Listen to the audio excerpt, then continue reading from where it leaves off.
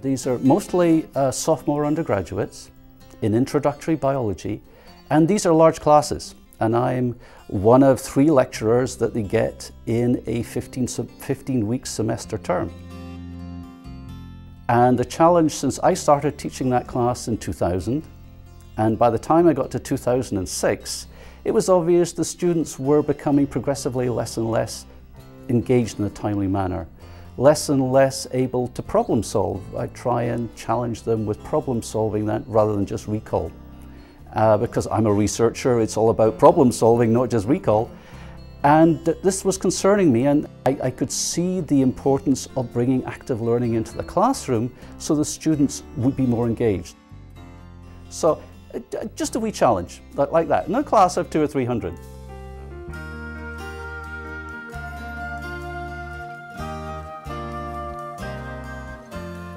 It's an interesting thing to see and behold that your classroom becomes, first of all, that the noise level is almost nothing with the silence.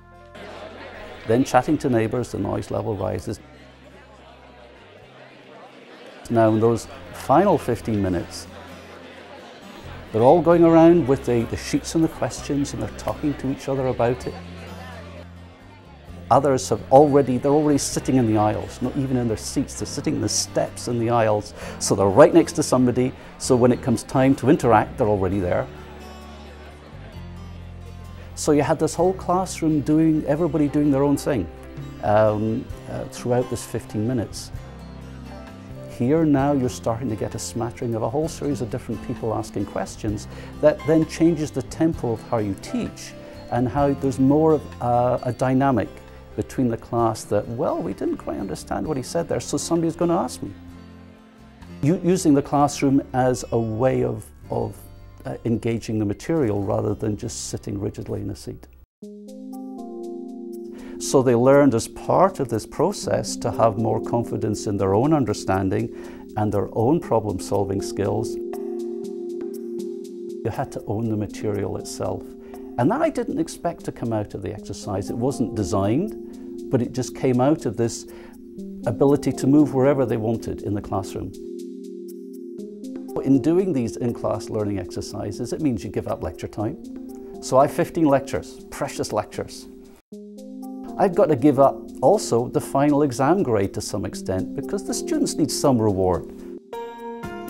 It's just trying to um, engage them in a process where the risk of doing the work was not going to cause them largely in terms of great outcome, but it would give them some benefit.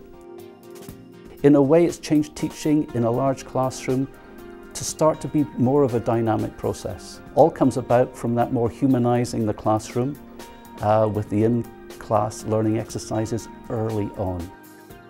In that way, you have to be prepared and have all the logistics ready to do that, but if you do it, the payoffs, as I found from my teaching, seem to be uh, considerable and beyond the engagement and just problem solving abilities I was trying to instill in the students, it, it grew into something much more engaging for them than even I thought it would do.